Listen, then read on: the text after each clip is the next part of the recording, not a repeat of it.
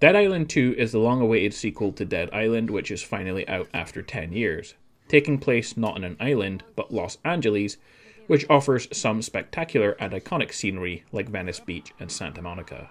The story tells of a deadly virus which is spreading across Los Angeles, and the city is now in quarantine as the military has retreated.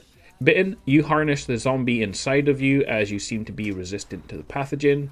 As you uncover the truth behind the outbreak, you'll discover who or what you are.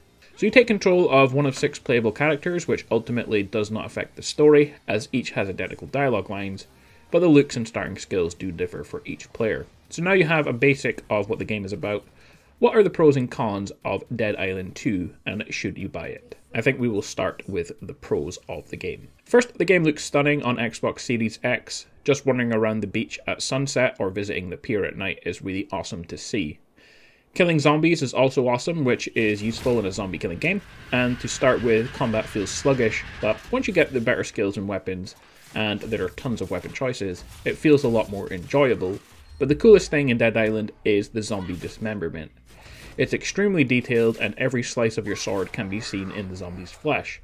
Guts spill out and blood everywhere. It's one of the better things I've seen in any zombie game. While I prefer one large map, the smaller maps are big enough that you can explore and do side quests and discover secrets, like the lockboxes hidden throughout.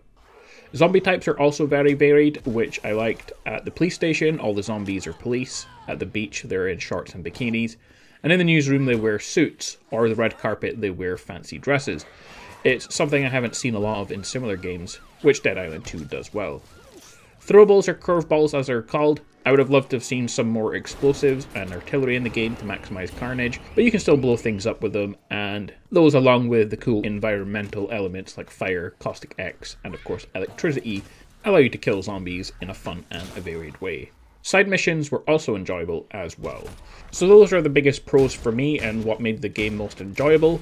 Let's take a look at the big list of cons and what could have been different to make the game a bit better.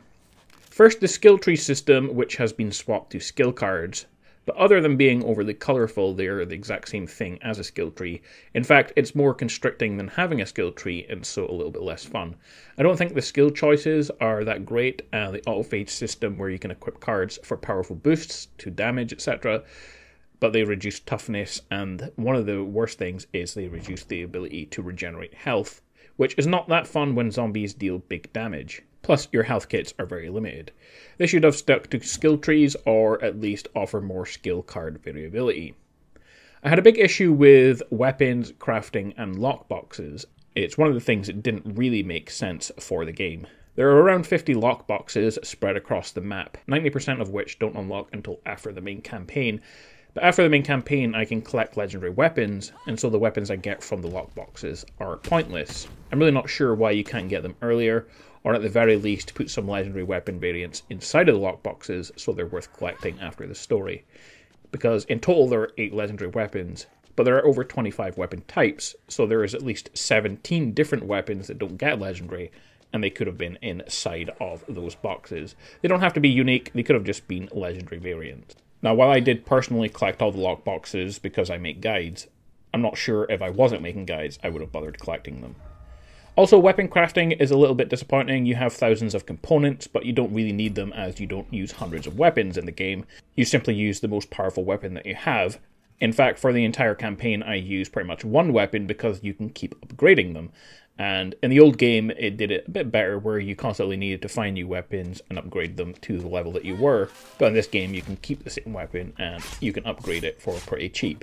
And you actually have to make a conscious choice to use different weapon variations but as I said, using whatever your strongest weapon is, is really what you will actually do in game.